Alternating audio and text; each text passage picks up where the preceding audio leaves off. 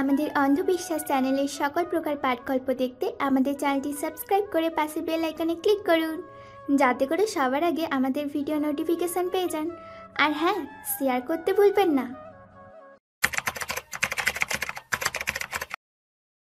নওশাদ ডান হাতের একটা হাড় ভেঙে গেছে এবং কপালের কাছে একটা গম্ভীর ক্ষত হয়েছে। এসব রঙ্গন জানতে পারল বাড়িতে ফেরার পর। রঙ্গনের বাবা মাসুর আহমেদ তাকে জানালেন নওশাদ তখনও স্বীকার করেনি মার খাওয়ার কথাটা। সে বলেছে অ্যাক্সিডেন্টের কারণে হয়েছে এসব।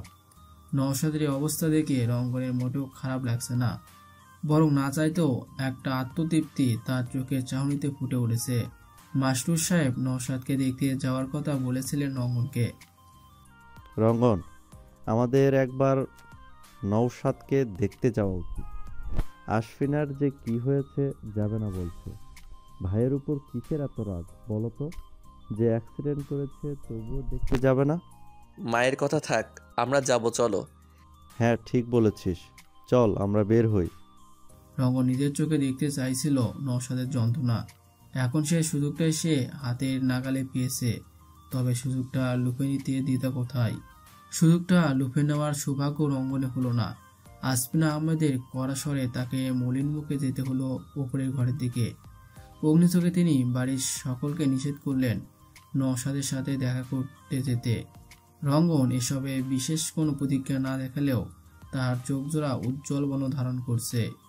তৃপ্তি তার চোখে ভাসমান আসপিনা আহমেদের মুখোমুখি দাঁড়াল সে। আর যদি তার মা তাকে প্রশ্নবাণে জর্জরিত করে তবু সে সবটা সত্যিই বলবে।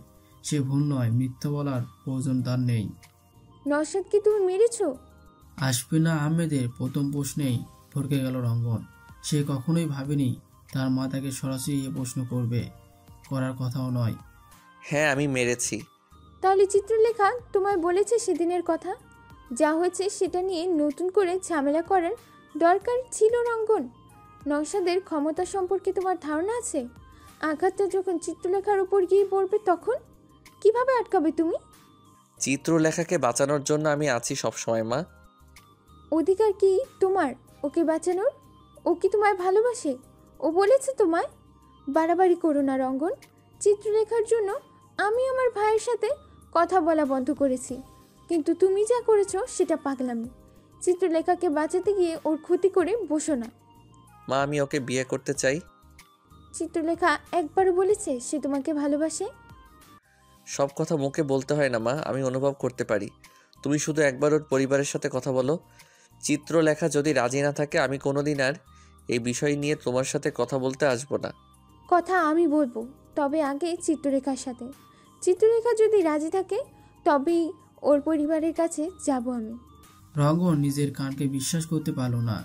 সে কি ভুল শুনল নাকি তার মা সত্যি তার বিষয়টা বুঝতে পেরেছে? মা সত্যি?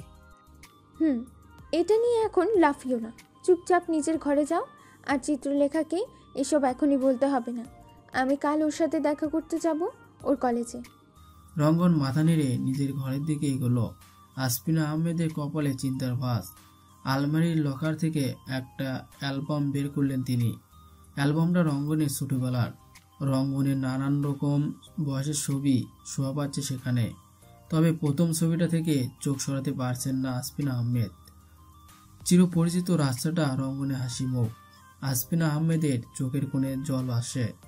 বহুদিন আগলে রেখেছিলেন সব কিছু তিনি। কখনো এসব স্মৃতি বিজড়িত হয়ে কথা বলেননি। তবে কাল বলতে হবে, চিত্রলেখাকে মিথ্যা বলার কোনো কারণ তার কাছে নেই। সত্যিটা বললে হয়তো চিত্রলেখা নিজের অঙ্গনকে অপছন্দ করা শুরু করবে। এতে পরক না, আহমেদের কাজ হয়ে যাবে।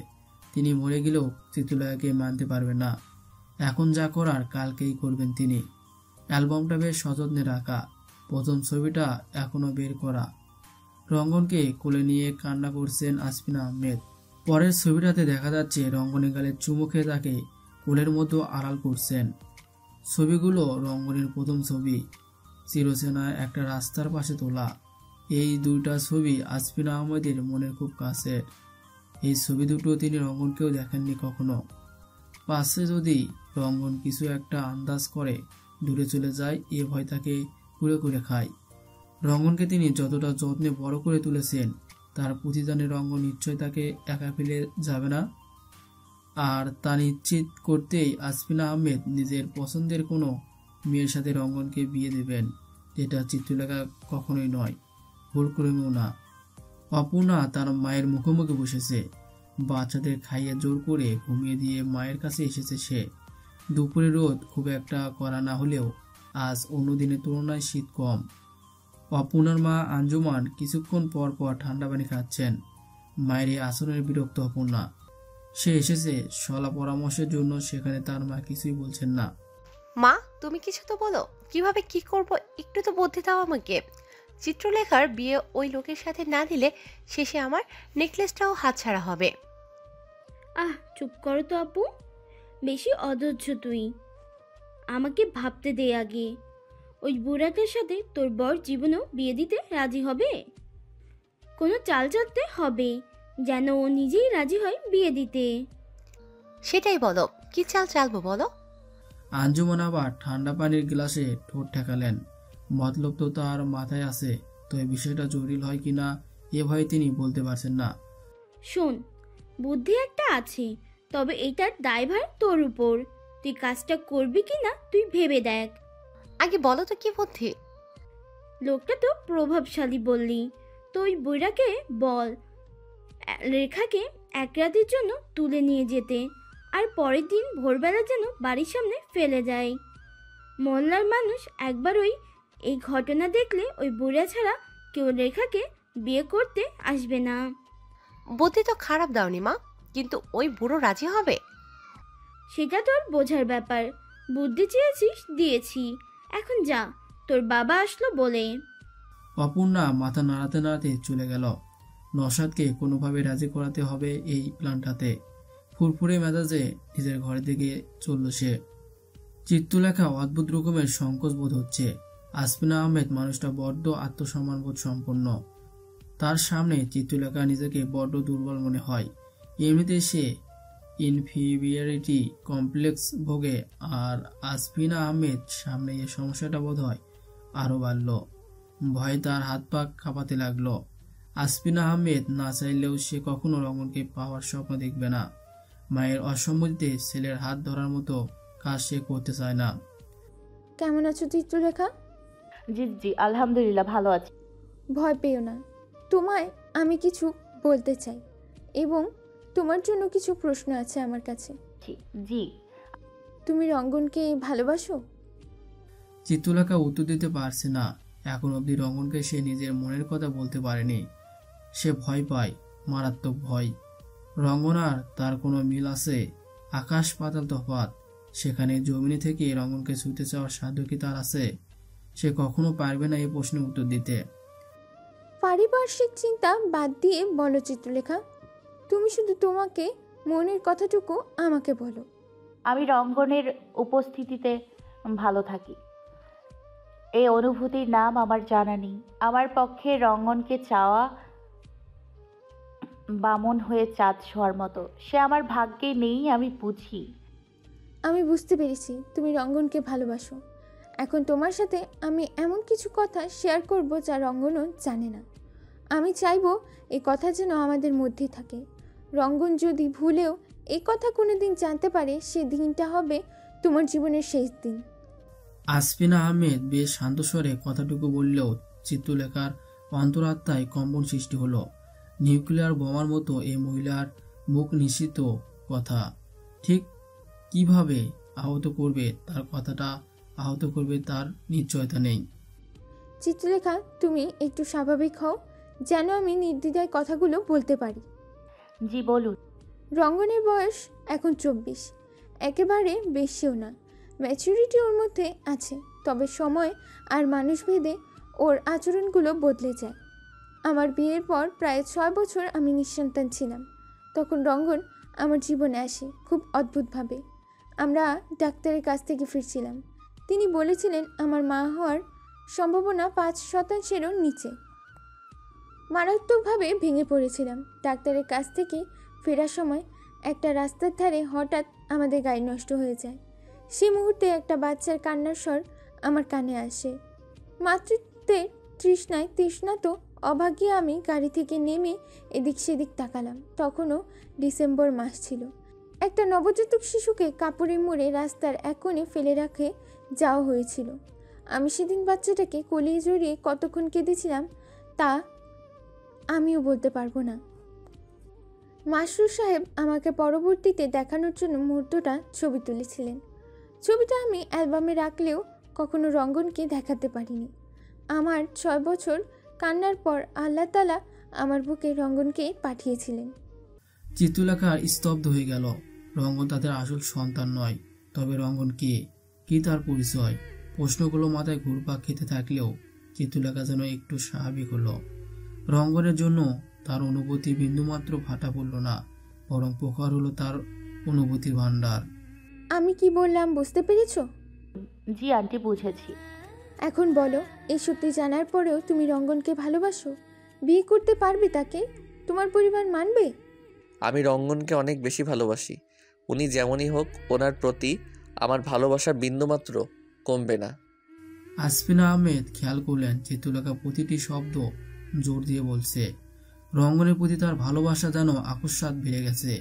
যে উদ্দেশ্য তিনি এসেছিলেন, তা সফল হলো না বুঝতে পেরে আসফিনা আহমেদের চোখের চাহনি বদলাতে থাকল। চিত্রলেখার ওপর তার ক্রোধের আগুন মিশ্রিত দৃষ্টি পড়ল। তাতে অবশ্য চিত্রলেখার যায় আসে না।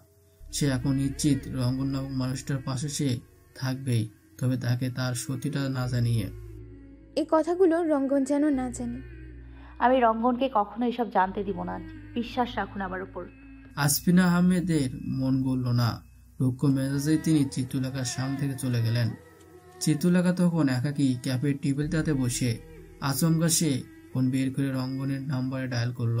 মানসিক অবসাদে জর্জরিত রঙ্গন চিত্রলেখার কলে খানিকটা প্রাণ ফিরে পেল। নওশাদের কথা এখনও চিত্রলেখাকে জানায়নি সে। চিত্রলেখার প্রতিক্রিয়াটা সামনাসামনি দেখতে চায় বিধায় জানাতে বিলম্ব করেছে সে। হ্যালো চিত্রলেখা কিছু বলবে? হুম আপনি একটু ক্যাফে কাপে আসতে পারবেন কিছু সময়ের জন্য? আসছি। অপেক্ষা করো একটু। একটু শুনুন। বলো। সাদা রঙের শার্টটা পরে আসতে পারবেন? হুম। তুমি একটু অপেক্ষা করো আমি আসছি। রাখো। আচ্ছা রাখলাম। রাখলাম বলার পরে চিত্রলেখা কিছুক্ষণ অপেক্ষা করল। রঙ্গন কল কাটলো না। শেষমেশ চিত্রলেখা নিজেই কল কেটে দিল। রঙ্গনের ছোট ছোট বিষয়গুলো এখন তার মনে অনুভূতির ফোয়ারা সৃষ্টি করেছে।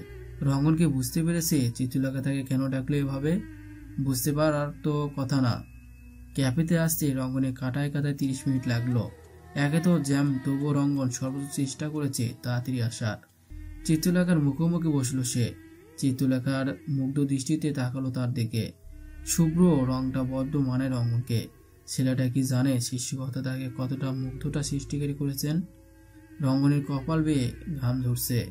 নিঃশ্বাসের ক্রমশ ওঠানামার মাঝখানে চিত্রলেখা তার এক হাত রঙ্গনের হাতের উপর রাখল। রঙ্গনের মনে হলো সে বোধ হয় ছোটখাটো একটা বৈদ্যুতিক শখ খেল। চিত্রলেখার দিকে তাকানোর মতো অবস্থাতেও নেই সে। নিজেকে প্রচণ্ড অস্থির লাগছে তার। পরবর্তী ঢাকাটা বেশ জড়সড়ে লাগল চিত্রলেখার বলা বাক্যটাতে। আমি সারা জীবন তোমাকে তুমি বলে ডাকতে চাই রঙ্গন। হ্যাঁ। বাক্যটুকু রঙ্গনের কর্ণকোরে প্রবেশ করতে দেরি হলো তবে রঙ্গনের হৃদস্পন্দন থেমে যেতে সময় লাগলেন না। মাথা ঘোরাচ্ছে তার এই বোধহয় সে পড়ে যাবে। রঙ্গন অনুভব করল চিত্রলেখা ব্যতীত সবকিছু ঝাপসা হয়ে যাচ্ছে। স্যার কি অর্ডার করবেন আপনারা? ওয়েটারের কথায় ঘোর কাটলো রঙ্গনের। চিত্রলেখার ঘরে সে মোহিত ছিল এতক্ষণ। পৃথিবীর সবচেয়ে সুন্দর ক্ষণিকের মুহূর্তটা সে উপভোগ করছিল এতক্ষণ। রঙ্গনের এখন এই ক্যাফের চার দেওয়ালে থাকতে ইচ্ছা করছে না। দুই কাপ কফি তবে ওয়ান টাইম মগে দিন ভাইয়া। সরি স্যার তাহলে আপনাদের কপি কাউন্টার থেকে নিতে হবে। আচ্ছা ধন্যবাদ। রঙ্গনের চোখের উজ্জ্বল বলে দিচ্ছে সে কতটা অস্থির হয়ে পড়েছে। নিজেকে শান্ত করার কোনো সঠিক পদ্ধতি যেন সে খুঁজে পাচ্ছে না। তুমি বসো আমি কফি আনছি। চিত্রলেখা উত্তর দেওয়ার অবকাশ পেল না। রঙ্গন তড়িৎ গতিতে কাউন্টারের দিকে এগোলো। চিত্রলেখা রঙ্গনের কীর্তিকলাপে হাঁটছে। এতটা অস্থির রঙ্গনকে কখনো কি দেখেছিল সে? কাউন্টারে এসেও রঙ্গনের অস্থিরতা কমল না। বারবার নিঃশ্বাস ছেড়ে নিজেকে শান্ত করার প্রচেষ্টা করছে সে। স্যার এনি প্রবলেম না না। দুই কাপ হট কফি প্লিজ নাম কি লিখব স্যার? একটাতে রঙ্গন আর আরেকটাতে রঙ্গনা লেখো। দুই কাপ কফি নিয়ে বিল প্রে করে রঙ্গন চিত্রলেখার মুখে মুখে বসল। চিত্রলেখা মগের ওপর রঙ্গনার লেখাটা খেয়াল করে মুচকে হাসলো। বাইরে হাঁটতে হাঁটতে কফি খাই আমরা। হ্যাঁ চলুন। চিত্রলেখা রঙ্গনের উচ্ছ্বাস দেখে কেবল মুগ্ধ হচ্ছে। তার বলা একটি বাক্য ছেলেটা এতটা অস্থির হয়ে উঠবে সে ভাবেই নেই। চিত্রলেখা তোমার একটা কথায় আমি এতটা অস্থির হইনি। আমি অস্থির হয়েছি তোমার চোখের চাহনিতে। আপনি কি করে বুঝলেন? আমি এটাই ভেবেছি। আমি উত্তর দিব না। তুমি আপনি করে বলেছ। আচ্ছা সরি তুমি কি করে বুঝলে আমি এটাই ভেবেছি? তোমার মুখের হাসি বলে দিয়েছে। তোমাকে একটা কথা বলা হয়নি রঙ্গনা। রঙ্গনা ডাকটা শুনে খানিকটা শিউরে উঠল চিত্রলেখা। উষ্ণ এক মধুর হাওয়া যেন তার কানে কানে এসে স্পর্শ করল। কি কথা? মামা হাসপাতালে আছে গতকাল কে যেন তাকে মেরে হাসপাতালে পাঠিয়েছে। ও আচ্ছা। রঙ্গন ভাবলেসীন ভাবে বলল কথাটুকু। চিত্রলেখা হাসলো। এই কেউ একজনটা কে? তা বুঝতে তার সময় লাগেনি। রঙ্গনকে কি বলা উচিত তার এই কথা? একটা কথা কি জানো রঙ্গন? আমি অন্যদের মতো বলব না, তুমি কখনো মারামারি করো না, ঝামেলায় জড়িও না। আমি চাইব তুমি প্রতিবাদ করো। নওশাদ নামক লোকটার প্রাপ্য শাস্তি সে পেয়েছে। আমি কখনোই তার প্রতি সহানুভূতি দেখিয়ে বলব না, সে তোমার মামা হয়। তার সাথে এমন করা অনুচিত। তুমি বড্ড আলাদা রঙ্গনা। সবসময় এমন থেকো আর আমার পাশে থেকো। চিত্রলেখা মুগ্ধ দৃষ্টিতে রঙ্গনের দিকে তাকিয়ে তার এক হাত নিজের এক হাত দিয়ে আঁকড়ে ধরল। রঙ্গনের মনে হলো সে বোধহয় ক্ষণিকের জন্য জমে গেল। এই মুহূর্তটা কি কোনোভাবে থামানো যায়? রঙ্গনের মাথায় সে চিন্তা ভর করল। শোভা আমি ঠিক করেছি আঙ্কেল হাসপাতালে থাকা অবধি আমরা রাজশাহীতে থাকব এবং সব গুছিয়ে নিব। আঙ্কেল সুস্থ হয়ে ফিরলে আঙ্কেল আন্টিকে আমাদের সাথে নিয়ে যাব। আচ্ছা আমাদের বিয়ের কথা লেখাকে জানালে হতো না একবার? জানাও অসুবিধা নেই তো।